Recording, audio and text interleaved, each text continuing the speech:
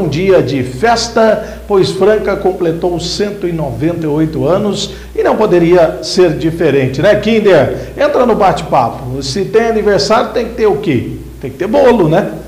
Com certeza, Samuel Sintra. Se tem aniversário, tem que ter bolo e Franca. Chega mais uma data importante, ou seja, são 198 anos. Estamos próximos aí. Opa, deixa eu pegar do lado de cá. Estamos próximos de completar aí mais 200 anos de vida, né, Samuel Sintra? Pois é, muito bacana, né? E teve a tradicional festa que é feita no Parque de Exposições Fernando Costa, com o corte do bolo, que é um trabalho feito né, pelo Sindicato da Panificação, com apoiadores. É muito bacana, né? É um super bolo esse, na verdade, que foi aí o corte logo pela manhã, por volta das 9 horas da manhã, para marcar esses 198 anos de Franca, além de outras atrações que também foram oferecidas à população, é claro, lá no Parque Fernando Costa. Mas hoje, além do aniversário, o pessoal estava comemorando, é, é, cantando os parabéns e já de olho num jogo da seleção brasileira que também movimentou, né? Foi muito próximo, nove da manhã, uma da tarde, o pessoal já saiu dali, já foi, é claro, aproveitar para curtir o jogo da seleção brasileira.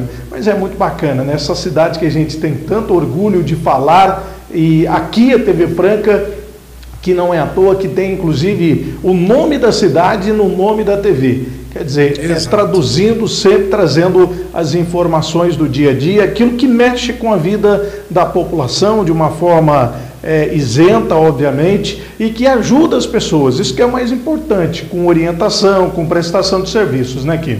Com toda certeza, Samuel Sintra. Uma TV voltada para as necessidades da população e agora, ainda mais com esses quase dois anos do JR23, noticiando aquilo que realmente importa para a nossa gente, para toda a nossa região. É muito bom poder fazer parte dessa jornada aqui da TV Franca com o JR23, junto desses 198 anos da cidade de Franca. Bom demais. Bacana.